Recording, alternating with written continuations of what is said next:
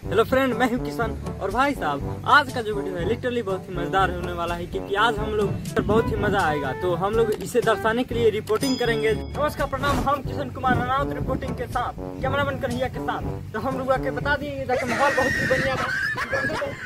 है मतलब आनंद आवता नींद के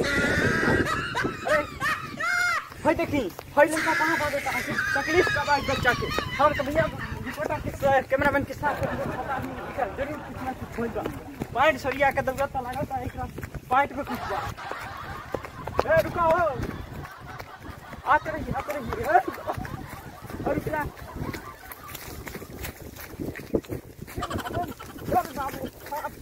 आपको क्या तकलीफ़ है हाँ, मर्दे तू आदमी वो के आदमी के पजामा